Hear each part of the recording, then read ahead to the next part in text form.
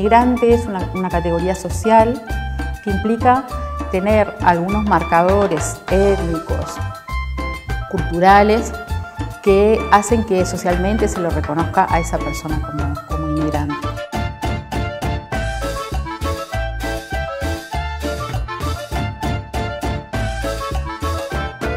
Cuando hablamos de inmigrantes, eh, pensamos en eh, personas de un origen inferior al nuestro.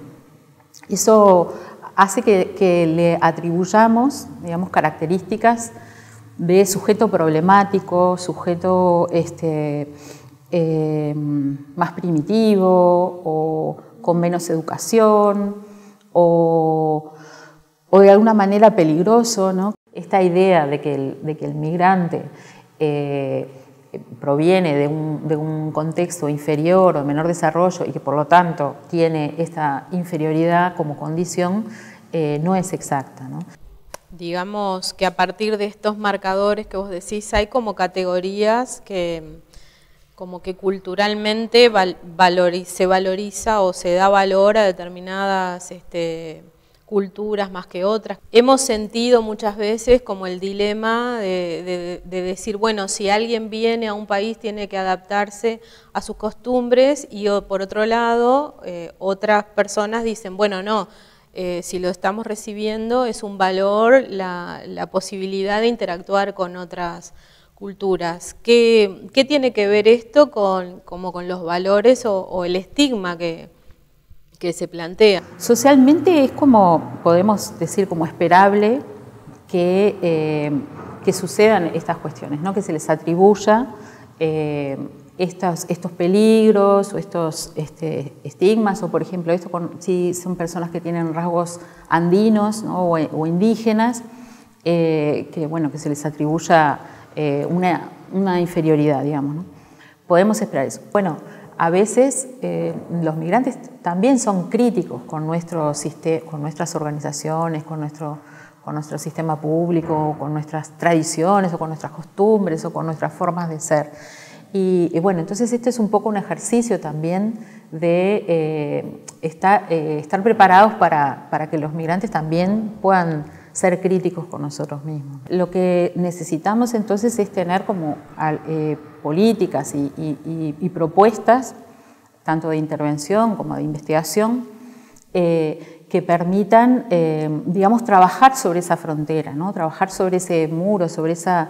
esa diferenciación que se instala. Actualmente hay como un, un discurso o una legislación aparentemente que este, habilita, por ejemplo, que las personas con determinadas condiciones accedan a la ciudadanía. Hay como una disposición aparentemente de que eh, las migraciones son bien recibidas. Tenemos una, ley de migraciones que, está hecha desde una perspectiva de derechos, donde en realidad eh, garantiza eh, el acceso a los inmigrantes a todos los servicios y a todas las prestaciones públicas en, igualdad de condiciones que los nacionales.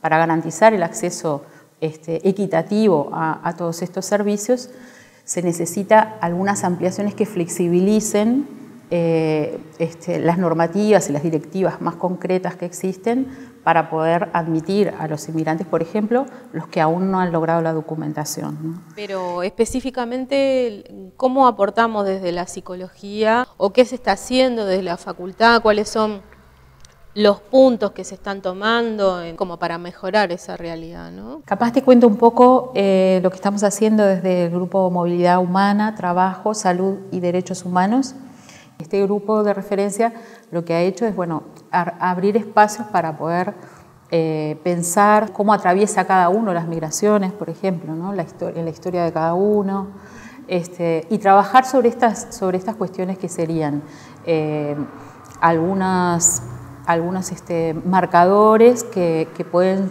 llevar a eh, estigmatizaciones dentro de lo que es la población migrante. ¿no? Y eh, en ese sentido, sí hay mucho por trabajar en cuanto a eh, formas de integración social. ¿no?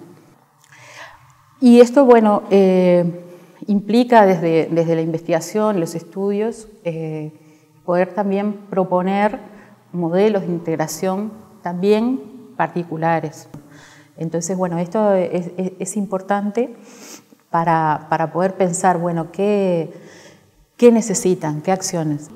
Eh, por otra parte, pensar también que es posible mantener la pertenencia social al, grupo de origen, al, país de origen, a la nación de origen, y mantener eh, la construcción de esa nación en la distancia.